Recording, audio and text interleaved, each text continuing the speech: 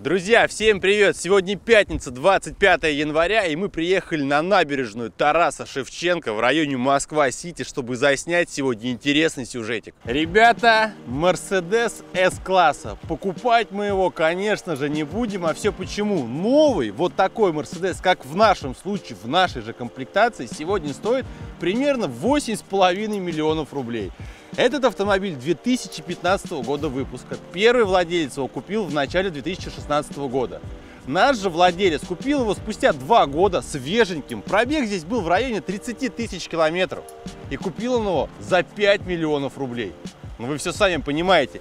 Давайте я вам сделаю кратенький обзорчик на автомобиль, а после этого мы пообщаемся с владельцем автомобиля, зададим ему интересные вопросы, как это так он докатился до Мерседеса S-класса, чем он занимается, сколько обходится в содержании такой автомобиль, почему он не купил что-то новое, ведь 5 миллионов, выбор-то огромный. В общем, обо всем по порядку прямо сейчас. Погнали! Друзья, мы с вами частенько спорим о том, что вот, двухлитровая Mazda едет лучше, чем двухлитровая Camry. Что под капотом, спросите вы? А я вам отвечу. V-образная восьмерка, 455 лошадиных сил, 700 крутящего момента, полный привод, работает в паре с 9-ступенчатой автоматической коробкой передач. И эта тачка по налогу обходится в 70 тысяч рублей. А сага человеку обошлось в 12 тысяч рублей. И сделать полная каска на, получается, уже четвертый год владения – 225 тысяч рублей. За счет того, что он покупал автомобиль с рук, скажем так, резина зимняя была, резина летняя, само собой, была. Сами прекрасно видите, машина дорогая, премиальная, все закрыто пластиком, все сделано аккуратно. То есть вспомните даже последний обзор на Mazda 6 турбовую, когда открываешь капот, а там все прям в открытую, такое ощущение, как забыли пластиком закрыть. Здесь же тебе дают понять, что вот, ради чего ты сюда можешь приходить доливать омывающую жидкость. Расход у этого автомобиля. Человек очень много ездит по трассе. Реальный расход 12 литров. В городе, вот, да, по Москве 18-20 будет расход идти. Заливать нужно 95 бензин и выше. Соответственно, 95 даже самый простой сегодня стоит порядка 46-47 рублей. То есть сами можете посчитать, что такой автомобильчик жрать бензина будет ого-го. Обо всех минусах, подводных камнях, с чем здесь можно столкнуться, мы пообщаимся с владельцем. Естественно, машина умная, все здесь автоматизировано, оптика здесь на самом деле крутая стоит, то есть все, кто пользовался вот этот LED Intelligent Light System, ну, хвалят. Влево-вправо знаки подсвечивают, в общем, друзья, надо самому посмотреть, покататься. Все различные камеры, радары, то есть едешь по трассе, да, ну, рассказывать о том, то, что знак она там увидит, контроль занимаемой полосы, об этом нет никакого смысла. Здесь есть все то, что нужно. Опять-таки, обратите внимание, а, Номерок блатной 001. Вот такой номер по Москве, да, казалось бы, просто цифры стоит порядка 300 тысяч рублей. Если бы региончик был там, допустим, 750, то Московская область уже соточка. Покупая автомобиль, номер, скажем так, был уже на нем. Но при этом, как мы любим, а, покажи, покажи, пусть парни кайфанут. Пацаны, вот просто из-за этого брать не буду. Вот, вот из-за этого не буду брать. Как бы сами, да, понимаете, серьезная тачка, а фара запотела. Значит, машина у нас затянута вся в пленке, то есть по состоянию, да, если походить, посмотреть, в силу того, что по трассе катается, да, можно найти скол, это нормальное явление того, что это S-класс, цена которому 8 миллионов, это не означает о том, что в него камни отлетают, сколов не остается, он все время как новенький. Подвеска на нашем автомобиле пневматическая, то есть может подняться автомобиль, насколько точно сейчас прям в миллиметрах не скажу, но владелец отмечает то, что дискомфорта, управляя автомобилем, не было еще ни разу. Колеса в нашей комплектации стоят 20 то есть поймите правильно, у нас по сути комплектация для этого автомобиля S500, это не Майбах, да, подчеркиваю, можно сказать, самое жирное. Возможно, там еще что-то можно добить, но круговой обзорчик есть. Доводчики дверей, пожалуйста. То есть выглядит тачка, ну реально симпатично. То есть вот простыми словами, да, там не нахваливаю, а Мерседес, вот пойми правильно. Вот я думаю, ты согласишься посмотреть на нее, вот подъехала тачка, ожидая, что из нее выйдет человечек в костюмчике, правильно? То есть какая-то, возможно, женщина или мужчина, или дедушка сзади катается, передвигается. И более того, вот по своим личным наблюдениям, передвигаясь по городу Москва, я обращаю внимание, что все, у кого есть бабки, все-таки выбирают S-класс. То есть не семерки. Семерок BMW очень мало. Audi A8 так и вовсе как-то вообще редко встретишь. Вот как представительский класс S, это прям самое популярное. Я даже бывало в таких ситуациях стоял, что стоишь в пробке, впереди S-класс, слева, справа, сзади, еще вдоль дороги припаркованы S. Думаешь, блин, что за фигня? А фигни никакой нету. Как говорится, везде кризис, а в Москве пятница. Переходя к задней части автомобиля, да, вот я считаю, что жопа все-таки симпатичная. Ешка, мини-S, весь модельный ряд Mercedes похож, но это нормальное явление, так сделано везде. Обращаю ваше внимание, багажничек. То есть у нас, получается, стоит холодильник, Багажник вообще, вот если без него там а, заявлено 530 литров. Ну, здесь вряд ли ты будешь какую-то рассаду возить, какую-то морковку, картошку. То есть в лучшем случае продукты, какие-то вещи свои, сумочки там и так далее. Ну, сами понимаете, S-класс совсем другая жизнь.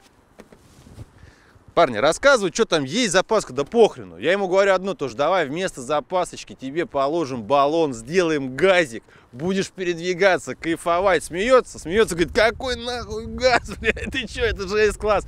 Я говорю, согласен, но газ, газ это выгодно. Если обычно мы снимаем автомобиль и мы говорим, вот сзади можно сесть, места вроде бы достаточно, есть стеклоподъемник, есть подогрев и уже классно, то здесь, друзья, это отдельная история.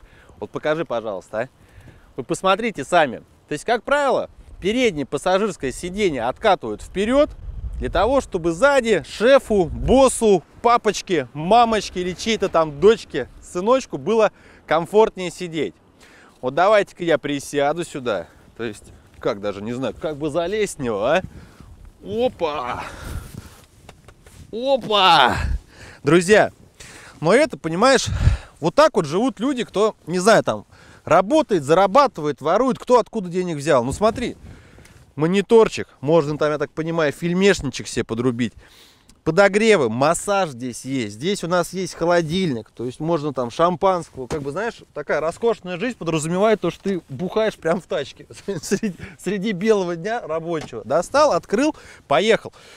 Места над головой более чем достаточно. Спинка это откидывается под большим на самом деле градусом. И сделано все так, что с точки зрения безопасности, если вдруг, не дай бог, вот вы ехали пристегнуты, попадаете в ДТП, то здесь подушки тоже все умные. То есть вы не сможете на этом ремне повеситься, ну, задохнуться. То есть машина на самом деле продумана. Сидеть здесь комфортно. Ну реально, парни, здесь вот сел, знаешь, приятно, так атмосфера, вечернее время, все подсвечивается, будешь вообще как бы ехать, как в ночном клубе, не знаю. Поэтому сесть с кем-то, представь, там в костюмчиках едем с тобой куда-нибудь, там шампанское попиваем на какое-нибудь мероприятие. Бабки у нас есть, кризис. Какой нахер кризис? У нас бабок только больше становится. Как говорится, для кого-то война, для кого-то мать родная. Можно только порадоваться, на самом деле. Кто вот независтливый, кто не негативный, думаешь, блин, ну кайф, кайф. Хоть, хоть кто-то из нас кайфует. Машина технологичная, есть все, что нужно. Гарантия производителя на нее 2 года без ограничения пробега. Вот меня это всегда убивало. Думаешь, купить такую новую тачку за 8, за 10 миллионов рублей и получить 2 года гарантии? Ну что за бред? Если вы крутая компания, если вы говорите, что наша тачка самая крутая, ее позиционируют как самая лучшая машина с точки зрения комфорта, шумоизоляция здесь одна из самых лучших. В общем, машину нахваливают всеми возможными способами. За один только шильдик Mercedes вы здесь как минимум заплатите там полтора-два миллиона в стоимость. Ну бренд премиальный реальность Mercedes S-класса, как круто. Но при этом два года гарантии. А все почему? Потому что, как правило, все проблемы с этими автомобилями начинаются как раз таки после 100 тысяч. И даже вдумайтесь, в нашей ситуации первый владелец покатался на нем два года, накатал небольшой пробег, но продал его. Смею только предположить, что продал он его только потому, что вышла обновленная версия, и он пересел на нее. Отзывов за этот автомобиль в интернете, ну, конечно же, не найти. То есть, если есть, это какие там 5-10-летней давности. А так вот, чтобы свеженькая тачка, владелец, который за рулем на ней ездит, вел бы какой-то там журнальчик, дневничок. Ну, возможно, есть там единичные случаи. В общем, друзья, зачем я буду разглагольствовать, когда я на этом автомобиле еще ни разу не ездил? Сегодня мне, как сказали, дадут покататься за рулем. То есть, я сегодня на эске покатаюсь. Давайте я вас познакомлю с владельцем автомобиля. Вы с ним хотя уже заочно знакомы и зададим ему ряд интересных вопросов. Друзья, знакомьтесь еще раз, Михаил. Мишаня, привет. привет. Большое тебе спасибо, что согласился предоставить автомобиль и даже ответить на ряд таких интимных, скажем так, вопросов. Друзья, с Михаилом мы знакомы уже больше года. Это тот самый человек, который нам давал на обзор Land Cruiser 200. Но не об этом речь, Миш. Столько вопросов есть. Знаешь, вот сейчас жизнь тяжелая, 2019 год, в 2018 году ты покупаешь этот автомобиль. Цена его 5 миллионов рублей. Вот ты ответь мне, пожалуйста, ты за эти деньги мог себе купить BMW 530 с полным приводом в хорошей комплектации. Е-класс себе мог купить новый. То есть ты много чего мог нового купить. Почему ты выбрал вторичный автомобиль, там, двухгодовалый, пусть и с небольшим пробегом? Во-первых, потому что он удовлетворяет все мои требования относительно ездовых характеристик, комфорта, ну и статусности. Это машина, которую я вот прям действительно первая машина, которую я не хочу продать после покупки. Вот это я вот, вот остановился на ней именно из-за этого. Наверное, так. Напомню тогда людям, э, на чем ты вообще ездил, то есть удовлетворяет. У тебя был Land Cruiser 200. Слушай, Что у меня был Land? Cruiser 200, была Audi A7, была Audi Allroad, а, был ML. Ну, это все вот не, не сравнивается с этой машиной. Это прям топ. Вот это вот действительно топ. 5 миллионов рублей, 225 тысяч за страховку, э, 70 тысяч ты отдашь за транспортный налог. То есть по содержанию уходят на машинку деньги. То есть Уходят. никак не напрягает тебя или все Слушай, равно бывает? э, в любом случае я знал, куда я иду. И люди... Купить это одна, да, ситуация. а Вот еще нужно ее содержать. И, ну, в принципе, нет, не напрягает, потому что я к этому был готов. Я предварительно про- промониторил, что сколько стоит, и уже как бы осознанно на это пошел. То есть изучал машину, какие болячки у нее есть, вот вообще в целом, с чем можно столкнуться? На данном моменте, вот с моим пробегом, там проблем нет, да. Но если э, рассматривать пробег 120 там, и 150, есть проблемы с газораспределением, есть проблемы с, э, с нижними рычагами, но это проблемы больше связаны с обслуживанием. Если херово обслуживали, то и проблемы будут. А, Есть, опять же, в кавычках, проблемы с радиаторами. Если их не мыть, нижние радиаторы, которые охлаждают коробку, можно ушатать коробку. По большому счету, все. По большому счету все, но так понимаю, что любой ремонт у официального дилера это от 100 тысяч рублей. Вот расскажи ту ситуацию, вот ты сегодня нам рассказывал, что ты приехал на ТО, и что там А. произошло? Дилер пытался меня нагнуть, короче. Э, Фишка в чем? Я приезжаю, у меня завыл подшипник пром- промежуточного вала, но они мне начали нагружать. Тебе нужно поменять сам поддон, потому что он проходит через поддон. Э, вал сам нужно поменять, ну и, соответственно, подшипник. Ну, я как бы уши развесил, думаю, блядь, ну, действительно, дилер говорит, надо делать. Пошел, купил у себя в магазине эм, э, поддон, вал, подшипник. Ну, и думаю, блин, поеду, может, все-таки сделать диагностику. Как ты чувствовал? Поеду сделать диагностику в другом дилере. Дру- Другой дилер приехал, они мне говорят, мужик, ну, у тебя просто подшипник, тебе не нужно ничего делать, кроме подшипника. Первые, сколько там получилось, сколько ты потратил денег на материалы? На материалы 150 тысяч. 150. А за ремонт они сколько назвали? Ремонт они назвали, если бы нужно было менять поддон и менять вал, а, ремонт бы встал в 70 тысяч. То есть итого 220 тысяч. Но так как это, ну, я ограничился только подшипником, который стоит 15, и работа мне стала по- именно по подшипнику 5. А сколько ТО обходится на таком автомобиле? ТО у дилера проходишь? Да, то я прохожу у дилера, она на гарантии. Я про вот крайнее то, которое я делал, если откинуть диски и колодки, которые я поменял, то оно мне обошлось в 28 тысяч. А с дисками, колодками? Э, Ну, прибавляй 150. Друзья, вот вы просто вдумайтесь. Плюс 150 тысяч за диски и колодки. Просто бешеная машина, бешеная. Динамика как у нее? Динамика отличная, честно, хорошая. А, Паспортные данные не помнишь, какая Паспортные данные не помню, около 4,8 или 5 секунд. Точно не помню. Но для такого корабля, как бы, я считаю, это крутые показатели, реально. Нормально, абсолютно. Слушай, ну все классно, тачка дорогая по содержанию, естественно, бабки вылетают. А что у тебя с фарой-то? Какая-то она у тебя странненькая. Это не заразно. Вообще фара, короче, фишка в том, что приезжаю к дилеру, говорю, ну, ребят, фара потеет, надо бы что-то с этим сделать. Они стоят там, ну, на консилиум, совещание, все, ответ у них приходит такой. Ну, это мороз, на улице большие морозы, минус 15, это пройдет. Как бы 5 миллионов я отдал, я обслуживаюсь у них, и, ну, это пройдет. Вот это вот пройдет, вот это мне не нравится. Как бы я собрался писать письмо в пр- в представительство и как бы буду качать на них, потому что этим мне отказали. Но это дичь. Конечно, дичь, к слову, на простых японцах, там разных, когда фонари задние потеют, там меняют. А это, на самом деле, я не знаю, почему так, смотрите, Mercedes, у Audi такие же проблемы встречаются. То есть я много где это видел, то есть, знаешь, это не редкость. Странно, думаешь, такие дорогие тачки, и вот какая-то такая ерунда. Пневма стоит на машине. А, Не узнавал, если она у тебя нагнется со временем, на какую сумму это будет примерно? М, Нагнет со временем. Короче, одна стойка по закупке 80 тысяч одна. Одна. И еще замена. Ну и замена, То соответственно. есть, если И, в круг поменять 4, к примеру. Ну, где-то 320 тысяч рублей. Да. Но при этом, кстати говоря, я вот ты спрашивал ра- ранее про слабые места, бывает у машин там 13-14 года постукивают стойки. Э, дилер признает это гарантии, пока они на гарантии были, да, их меняли. Сейчас, э, если покупать по вину те же самые стойки на тот же самый 13-14 год, все равно они постукивают. Они опускаются, поднимаются, но э, при езде немножко происходит стук какой-то. С 14 со второй половины убрали это и как бы вроде более-менее стало. Слушай, ты его купил за 5 лямов, получается, в 2018 году. Ну, пусть условно ты там 2 года на нем покатаешься. Ну, 3 года ты покатаешься. Как ты думаешь, за какую цену ты его реально сможешь продать? Слушай, ну с учетом моего педантизма и отношения к машине, я там вылизываю ее постоянно, да, ну я думаю, около 3-3,5 миллионов, я так думаю, что примерно. То есть в любом случае ты автоматом полторашечку потеряешь, Конечно. как уже второй владелец, и при ну, этом а ты тут... еще и вложишь в нее да, уже, да, да, да, я думаю, лям.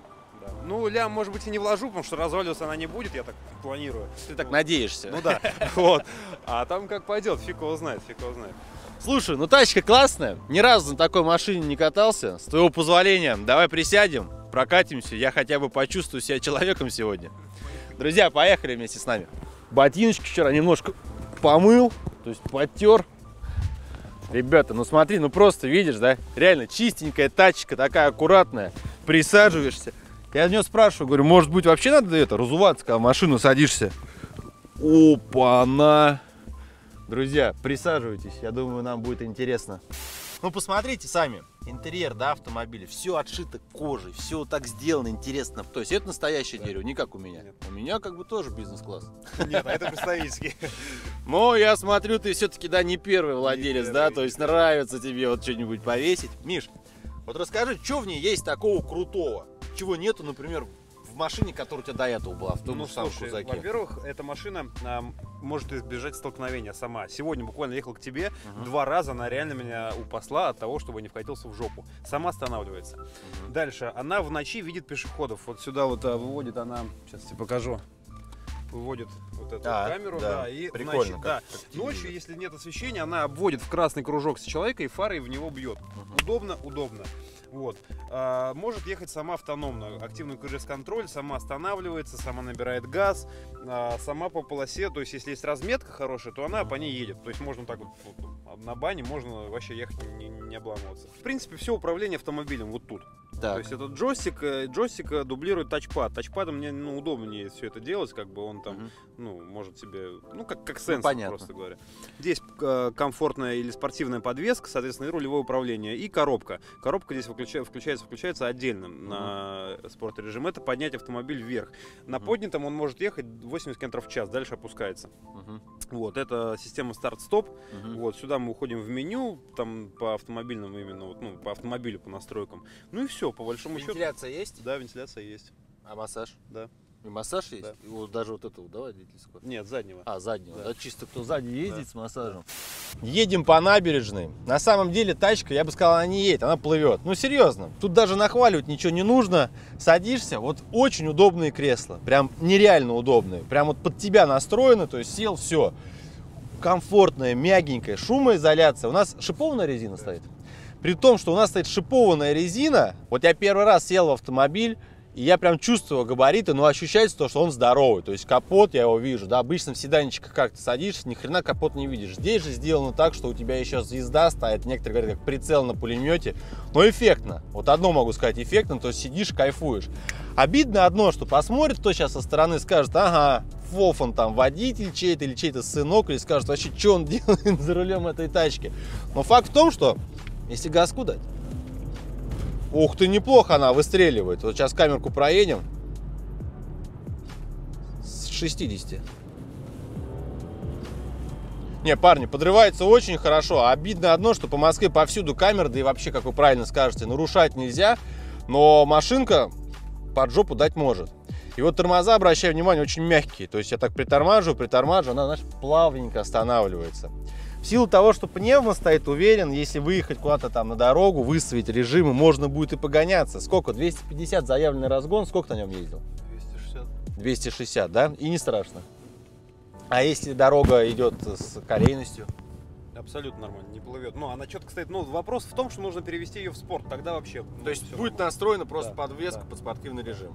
На этой машине наверняка, да, комфортно куда-то между городами ездить, передвигаться. Да и по городу, наверное, не это, не обломнут в пробочках потолкаться на этой тачке. Слушай, я и купил ее на, и по большей степени за то, что много езжу, мне в ней комфортно. Дальняк, не дальняк. Выбор был еще гелик купить, но на гелике реально вот я от Москвы до Питера доезжаю, я кончаюсь. Все.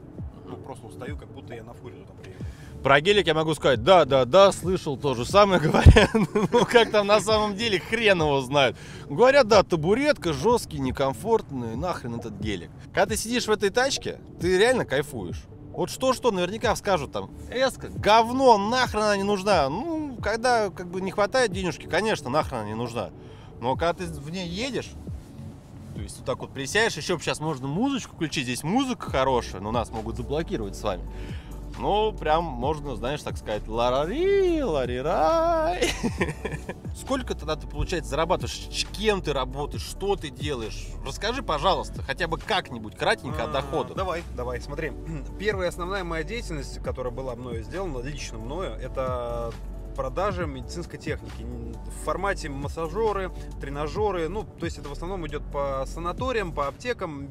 Не лезу в тендеры в государственные, потому что там работать честно не получается, человек я честный. Вот. Соответственно, следующее, что я сделал, это был автоподбор. Да? Я начал искать автомобили для людей. Э, Это все выросло очень неплохо. И сейчас э, мы с моим партнером создали холдинг. Э, У нас детейлинг, автосервис, у нас покрасочная. Ну, то есть, в принципе, вот все, что можно сделать с автомобилем, да, комплекс услуг, мы все можем для вас сделать. То есть оттуда я, по большому счету, и кормлюсь. Ну, образно. Слушай, ну так вот тоже звучит там, там, там, классно. Тебе при этом 29 лет, а стартап, какие-то деньги какие-то начальные. Откуда? Все-таки в 5 А. лямов тачку вкинул, там, тут. Да, это прям начальные- какие-то доходы Я бешеные. понял, я понял. Начальные деньги э, были у меня в размере там 120 тысяч рублей, когда я закупил первое оборудование, которое я начал продавать сам, ездил и продавал его. Вот. И потом, как бы, ну, за счет маржинальности э, вот этого товара, скажем так, да, я его покупаю в Китае, я начал немножко умножать. Да не немножко, давай честно, начал хорошо умножать. Вот. Соответственно, вот это вот мой был первый стартап, скажем. То есть это деньги, которые я вот 120 тысяч рублей, которые я спросил человека, которому я их отдал, и до сих пор мы с ним общаемся. Ну, то есть вот так. Слушай, S-класс на самом деле автомобиль, как многие могут сказать, для заднего пассажира. Есть, конечно же, версия Maybach, которая 100% для заднего пассажира. Она отличается, друзья, тем, что она больше, но, в общем, она, скажем так, более комфортная. Э, Почему не хочешь нанять себе, допустим, водителя или там как-то ездить сзади на машине? Не было никогда таких мыслей? Были мысли, я очень люблю водить. Мне нравится ездить за рулем, я действительно кайфую. Если какие-то нервы, стрессы, я сел в машину, поехал, я прям вот отдыхаю. И, наверное, из-за этого. Я просто люблю ездить за рулем. Вот получаю несметное удовольствие. Часто путаю с водителем, реально. На мойку сегодня, перед тем, как мы начали съемки, заехал. У меня сзади, ну, мой портфель лежал. Мойщик открывает дверь, говорит, а это шефа? Я говорю, в смысле? Ну, говорит, шеф оставил? Я говорю, нет. А, ну ладно. Ну, я ему не стал объяснять, что это мое, мне как бы это зачем. Ну, просто подумал, подумал, ра- ради бога, ладно, я как бы, ну, ну вот так бывает. Ну, они наверняка на мойке подумали, еще один, короче, водитель, который, типа, это не шеф, моя тачка. Они все водители, Да, похуй. да, да. И не объяснишь, как бы поэтому нудно. По ощущениям, вот реально неохота гнать. Вот как вот некоторые, знаешь, говорят, вот есть ну, спортивные, понятное дело, машины, где садишься, где выхлоп, где там машина срывает с места, кайфуешь от этого. Здесь же вот все так сделано удобно. Вот подлокотничек, я сижу здесь, подлокотничек. Шумка, ну, блин, вот честно скажу, что-что, но шумка прям изумительная. Обзорность достаточная, все видно, все понятно, тем более куча вспомогательных систем. То есть ты сидишь, я бы сейчас с удовольствием бы, знаешь, открыл бы пивка и поехал бы в Питер, бля. Шутка, шутка просто. Я бы сейчас с удовольствием бы кофе так выпил бы, поехал куда-нибудь в Питер, да куда угодно. Просто на машине охота вот реально ехать и кайфовать. Переходим с вами в спортивный режим. Что у нас сейчас поменялось? Подвеска, рулевое и коробка. Ну, Подвеска, рулевая коробка. Конечно, мы тут сейчас не можем... Блин, ты сучка какой, а? Слушайте, парни, ну блин, вообще, это космос. Нам дороги прямой не хватит, потому что город, э, тут только газку нажимаешь, мы с 60 срываемся тут же до 80, до 100 запросто можно разогнаться, буквально за секунду-две. 700 крутящего момента. Ну тут надо что-то говорить кому-то, нет?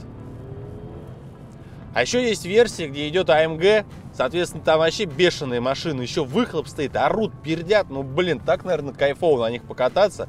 Кто ездит, кайфует. Вот так же, опять же, знаешь, перестроение. Вот X, X5 пошел, да? Тоже хорошенький, раз. Машинка хорошо стоит на дороге, а? Оп, тормоза.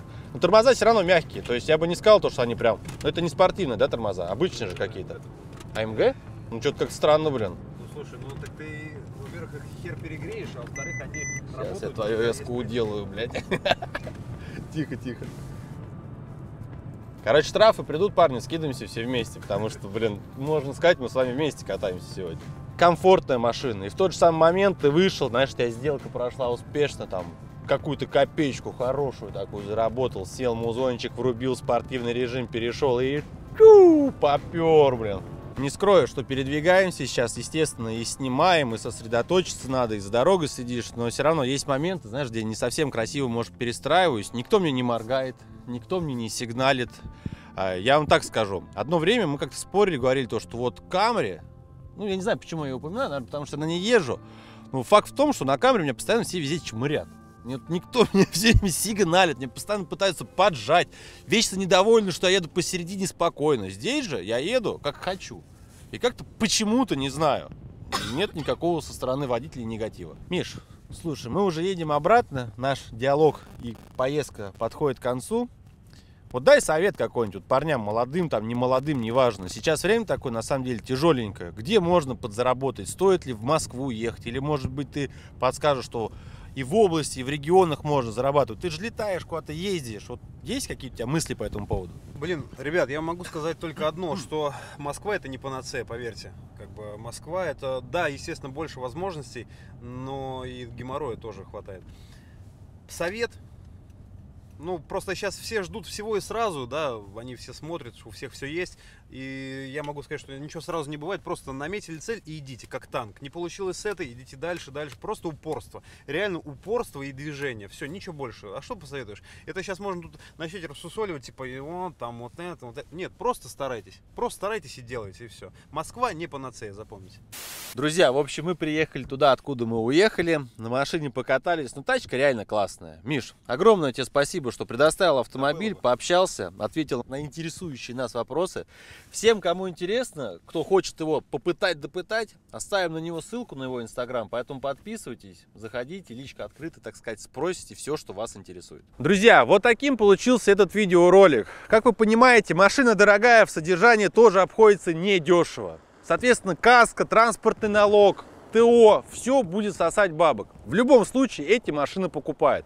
Даже если сейчас вы зайдете там на Автору, на Авито, где вам больше нравится, вы увидите автомобили, которые продаются. Но помните одно, что обман всегда и везде присутствует. Поэтому покупая абсолютно любой автомобиль, проверяйте его до покупки. Сделать это можно через сервис Автокод. Все, что вам нужно, госномер автомобиля. Вбиваете, оплачиваете разовую услугу и получаете весь полный отчет. Сейчас на экране вы как раз видите несколько таких отчетов по Мерседесу S-класса. Я их оставлю в описании, чтобы вы понимали, что в объявлениях одно, а на деле совсем другое. Парни, я думаю, вам было интересно. Я думаю, вам было интересно послушать владельца автомобиля, посмотреть немножко со стороны. В общем, Ставьте лайки, ставьте дизлайки, подписывайтесь обязательно на инстаграм нашего канала. Дальше будет больше интересных роликов. У меня на этом все. Всех приглашаю в комментарии. До новых встреч. Всем пока-пока. Ох, ребята, чувствую себя депутатом. Знаешь, енот у меня тут на голове. Пятница, сейчас к бабам поедем в баню. Да, оператор? Бля? Так, Михаил Саныч, давай-ка меня в ресторан. Поехали.